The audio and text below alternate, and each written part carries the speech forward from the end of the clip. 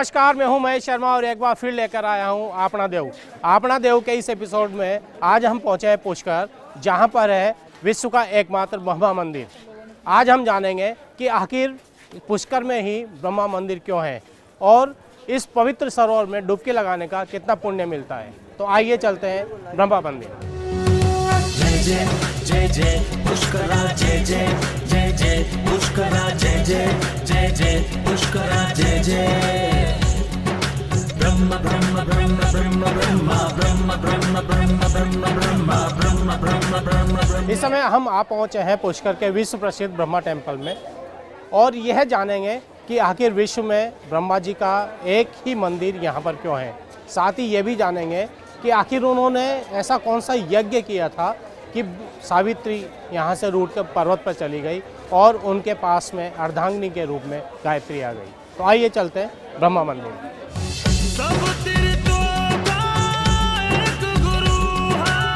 जयपुर के दक्षिण पश्चिम में स्थित अजमेर हिंदू मुस्लिम धर्म का संगम स्थल रहा है।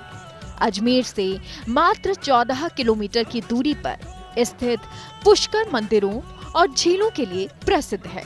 अरावली पर्वत श्रृंखला का नाग पर्वत अजमेर और पुष्कर को अलग करता है।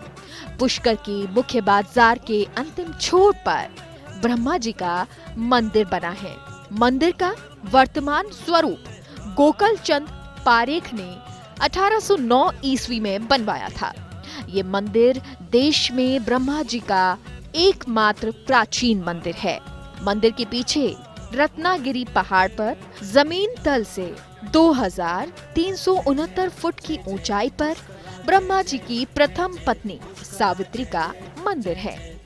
पुष्कर धाम को लेकर लोगों में ऐसी आस्था है कि लोग इसे तीर्थराज पुष्कर के नाम से बोलते हैं। ये भगवान ब्रह्मा के एकमात्र मंदिर के लिए पूरे विश्व में जाना जाता है। इसे भगवान ब्रह्मा का निवास स्थान भी कहा जाता है। मंदिर के बगल में ही एक मनोहर झील है, जिसे पुष्कर झील कहते हैं। पुष्कर झील का हिंदू धर्म में बहुत ही महत्व है। पौराणिक कथाओं के अनुसार पुष्कर झील का निर्माण स्वयं ब्रह्मा जी के हाथ से कमल पुष्प गिरने से हुआ। ब्रह्मा जी द्वारा यज्ञ स्थल की खोज में उनके हाथ से यहाँ कमल पुष्प गिरा था और पानी की धारा बह निकली। कार्तिक के महीने में श्रद्धालु बड़ी संख्या में इकट्ठा होकर इस पवित्र झील में डुबकी लगाते हैं। धार्मिक मान्यता है कि हिंदू श्रद्धालुओं के लिए पुष्कर बहुत महत्वपूर्ण तीर्थ स्थल है। ऐसा माना जाता है कि प्रत्येक व्यक्ति को अपने जीवन में एक बार पुष्कर की यात्रा अवश्य करनी चाहिए। पुष्कर हिंदू धर्म के सबसे महत्वपूर्ण तीर्थों में से एक है। पुष्कर को सभी तीर्थों का गुरु कहा जाता है। इसका महत्व बनारस या प्रयाग की तरह है। बद्री नारायण जगन्नाथ, रामेश्वरम, द्वारका, इन चारों धाम की यात्रा करने वाले किसी तीर्थ यात्री की यात्रा तब तक पूर्ण नहीं होती, जब तक वो पुष्कर के पवित्र जल में स्नान नहीं कर लेता। पुष्कर सरोवर की होने वाली आरती के लिए कहा जाता है कि यहाँ पर जो तीन सरोवर हैं, उनकी आरती है। और ये तीन सरोवर का महात्म्य क्या है इनको जानने के लिए यहाँ कौन कौन सी कथा है उनको जानने के लिए हमारे साथ हैं हरिभाई जी हरि गोपाल जी पाराशर जो यहाँ पर तीर्थराज पुष्कर में पुजारी भी हैं और सारी बातें बताएँगे। हरि भाई आप जानते हैं पूजा भी करवाते हैं बड़े बड़े राजनेताओं के आप पुजारी हैं तीर्थ यहाँ पे पुष्कर में है। तो क्या महत्व है एक तो? पहली चीज़ तो पुष्कर का। और जो तीन सरोवर है या जो आरती होती है किन किन की होती है और ये बारह घाट हैं। इनका बावन घाट है इनका महात्म है क्या? ऐसा है पुष्कर जो है पुष्कर सभी तीर्थों का गुरु है। भगवान जगत के पिता ब्रह्मा जी हैं शिव संहार करता है विष्णु पालनहार है। ब्रह्मा जी ने भगवान विष्णु की नाभि से कमल का पुष्पोत्पन्न हुआ उस कमल से ब्रह्मा का उत्पत्ति हुआ। ब्रह्मा जी ने कहा मृत्यु में मेरा भी तीर्थ होना चाहिए। तो ब्रह्मा जी ने ब्रह्मलोक से पुष्प गिराया। वो पुष्प ब्रह्मांड के चक्कर लगाता हुआ इसी बीच में जाकर आके गिरा था। गिरने से सात पाताल फूट गए और जल का उत्पत्ति हुआ।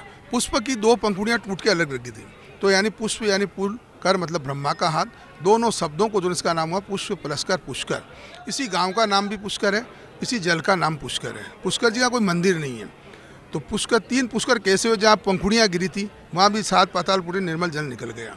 तो ज्येष्ठ सबसे बड़ा, दूसरा है मध्य और तीसरा है कनिष्ठ। तीन पुष्कर के नाम से विख्यात है।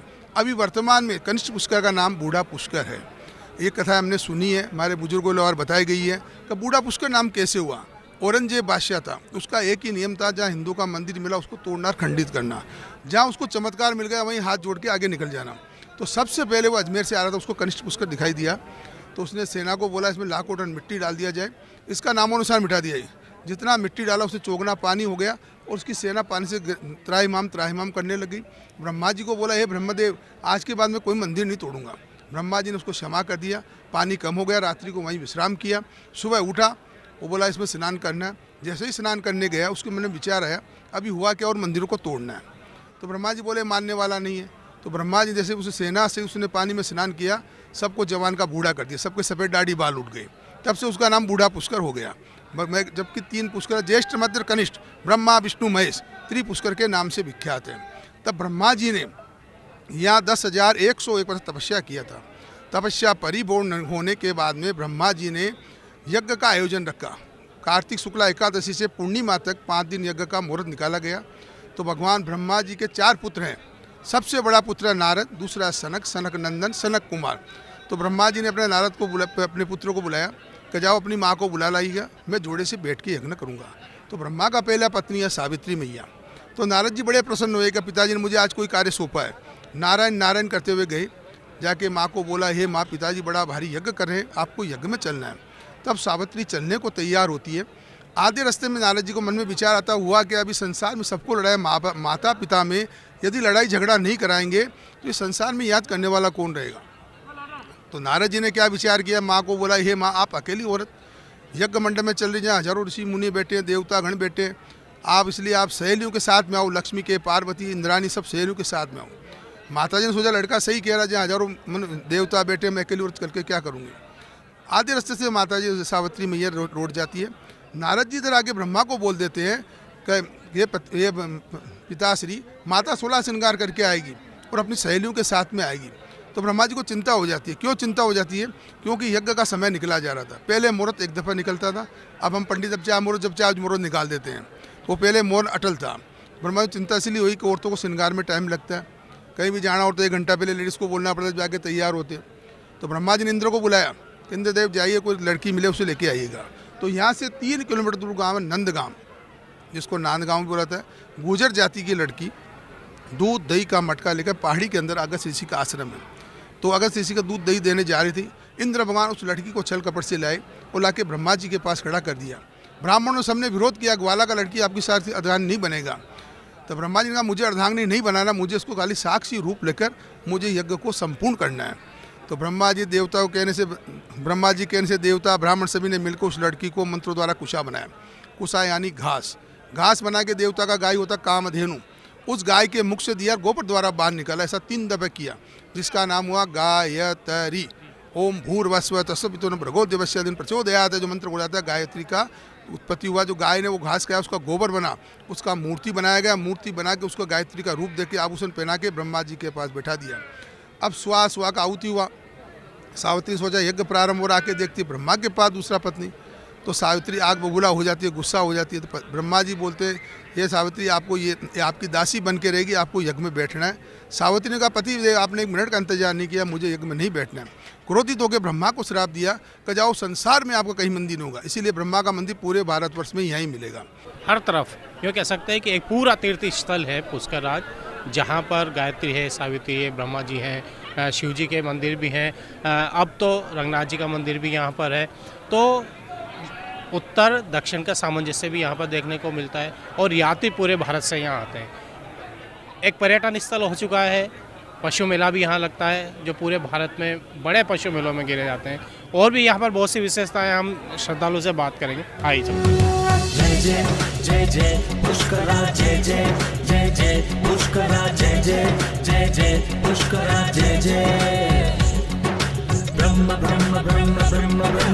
इस ब्रह्म घाट पे बहुत सारे पुजारी हैं जो पूजा करवाते हैं और जो श्रद्धालु हैं पूरे भारत से आते हैं दिल्ली से भी हैं और सर्वधर्म यहाँ पर देखा जा सकता है। मेरे साथ दिल्ली से पधारे हुए भैया नाम क्या है आपका? जसप्रीत।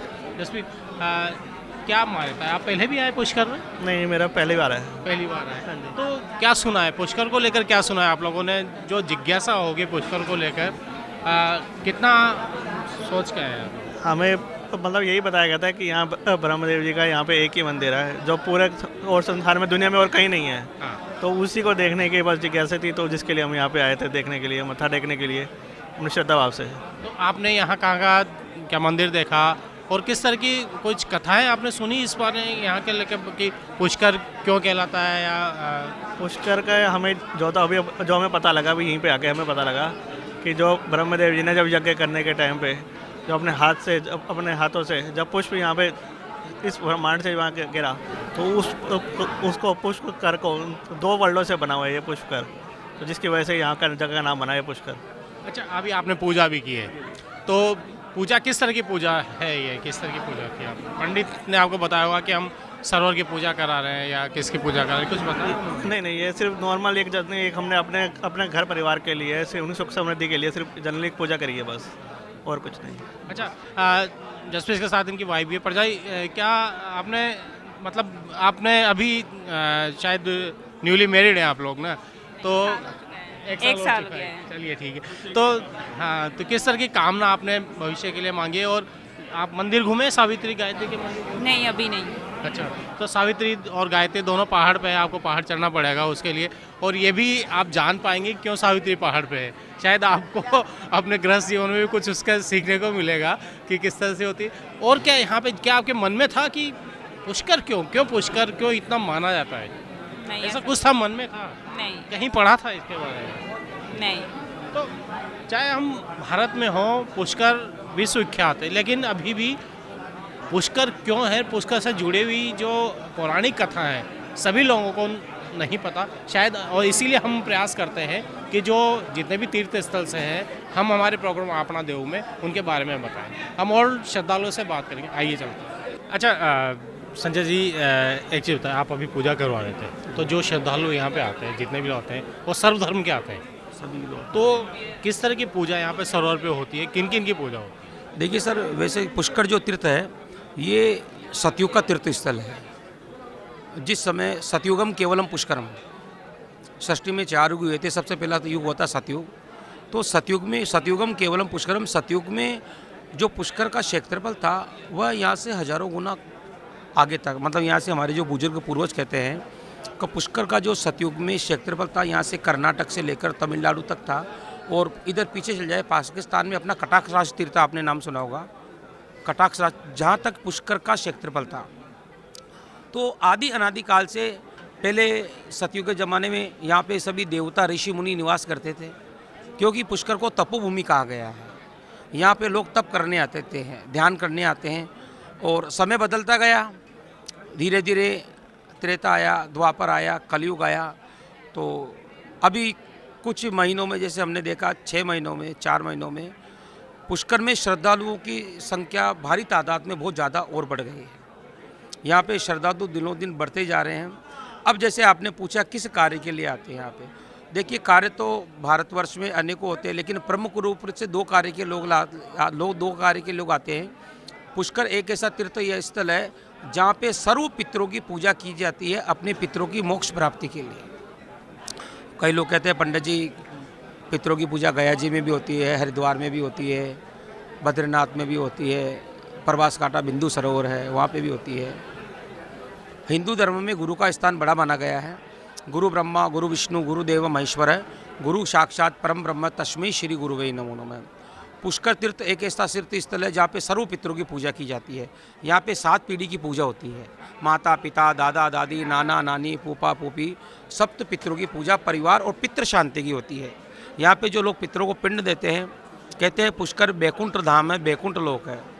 पद्म पुराण एक किताब निकलती है गीता प्रेस गोरखपुर से।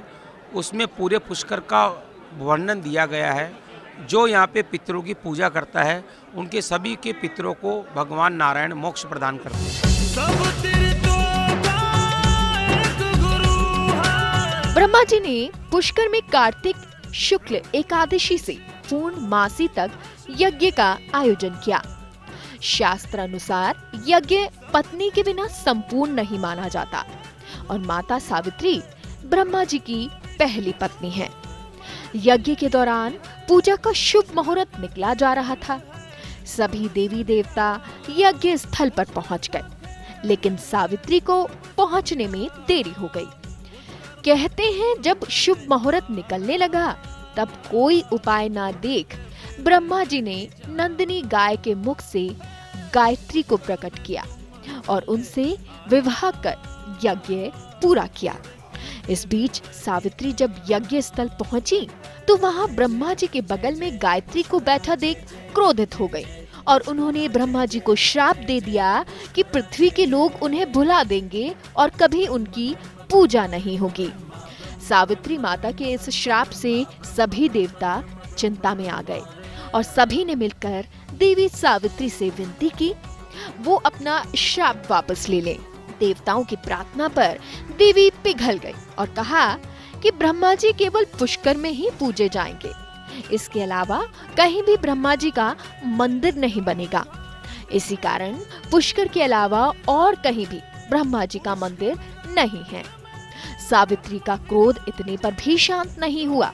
उन्होंने विवाह कराने वाले ब्राह्मण को भी श्राप दिया कि चाहे जितना दान मिले, ब्राह्मण कभी संतुष्ट नहीं होंगे। गाय को कलयुग में गंदगी खाने और नारद को आजीवन कुवारा रहने का श्राप दे दिया। अग्निदेव भी सावित्री की कोप से बच नहीं पाए। उन्हें भी कलयुग में अपमानित होने का श्राप मिला। पुष्कर में ब्रह्मा जी से नाराज़ सावित्री दूर पहाड़ों की चोटी पर विराजती हैं। पहाड़ी पर है सावित्री मंदिर और ब्रह्मा जी से इतनी दूर सावित्री क्यों पहाड़ पे जाकर बैठ गई, इसकी भी एक अलग कहानी है। और इस मंदिर तक पहुँचने के लिए यात्री जो यहाँ पर आते हैं, श्रद्धालु जो यहाँ पर आते हैं, वो इस रोपवे का इस्तेमाल करते हैं। और हम भी इस समय इस रोपवे से ही जाएँगे सावित्री मंदिर कि आखिर सावित्री रूट कर क्यों इतनी दूर पहाड़ी पर चलेगी आइए, हम चलते हैं सावित्री मंदिर। है है।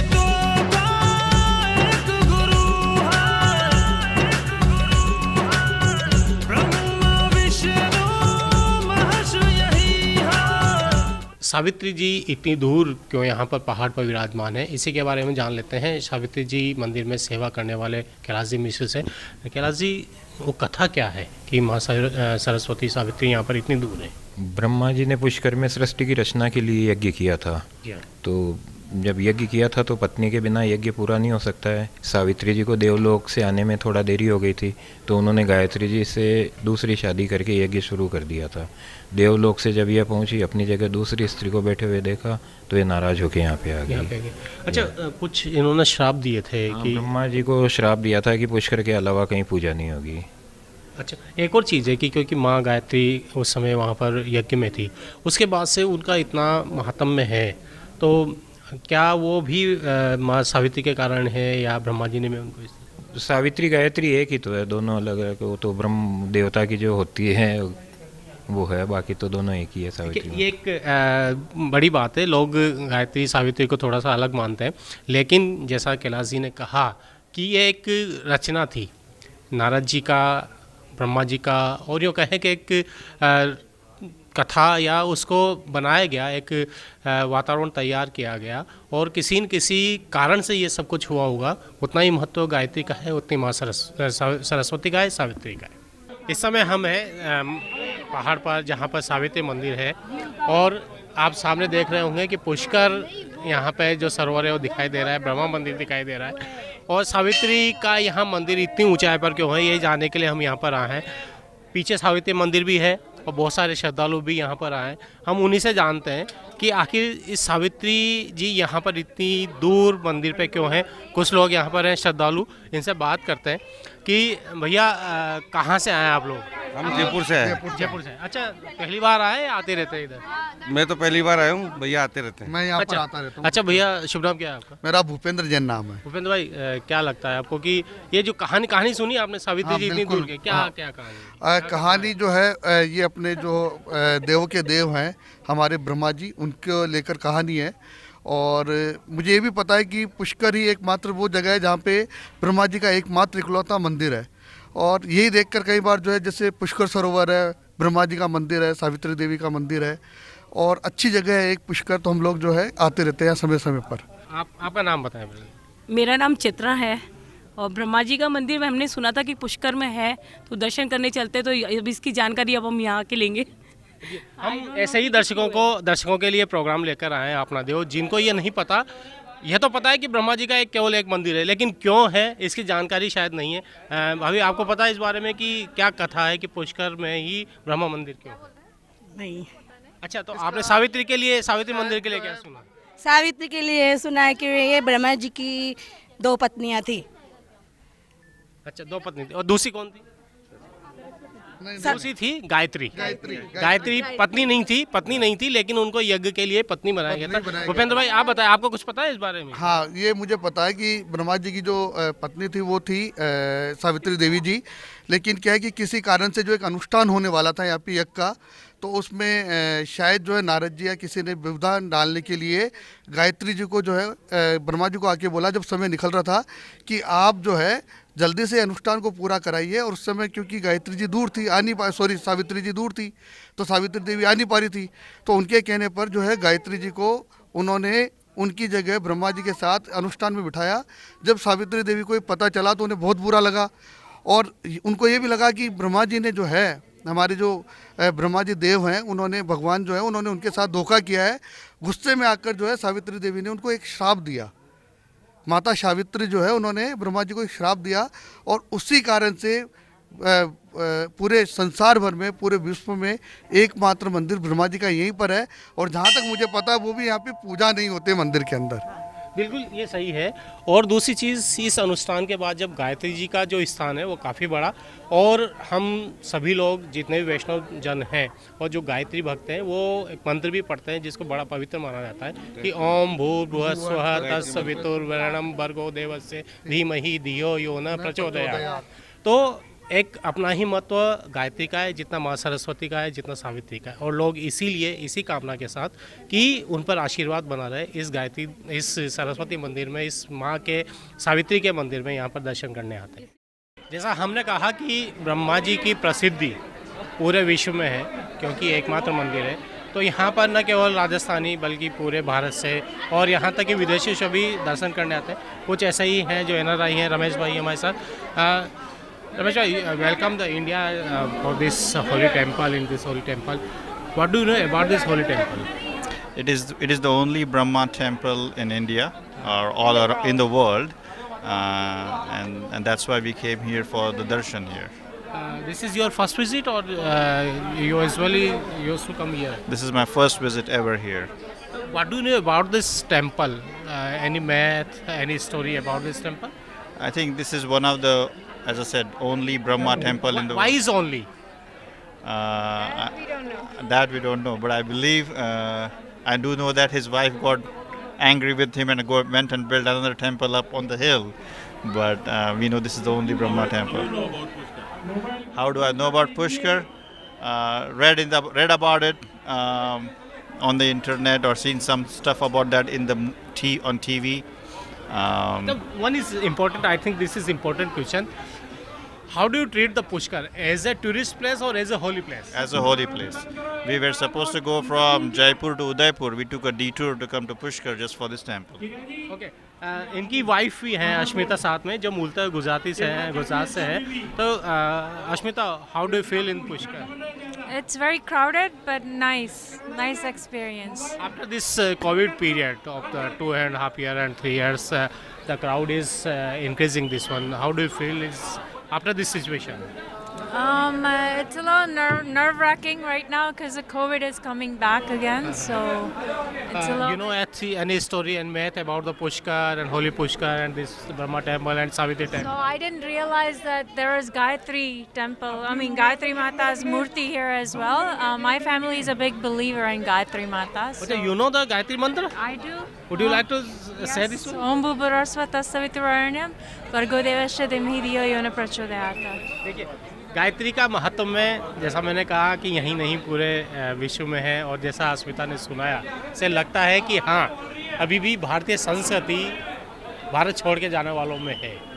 भारत में हिंदू धर्मावलंबी अपने अपने तीर्थों पे जाते हैं, बद्रीनाथ, केदारनाथ, प्रयागराज, अनेक तीर्थों पे जाते हैं, लेकिन पुष्कर भी आकर वह इस पूरी यात्रा का समापन करते हैं। कारण कि यह जगत पिता ब्रह्मा जी की नगरी है और यहाँ पर उनका मंदिर भी है। लोग उनके दर्शन करते हैं और इस मनोकामना के साथ करते हैं कि यह सृष्टि के रचयिता।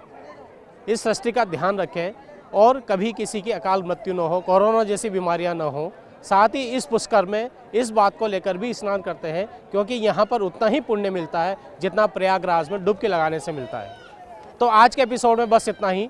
अगले एपिसोड में फिर किसी आपना देव के दर्शन करेंगे। तब तक के लिए नमस्कार।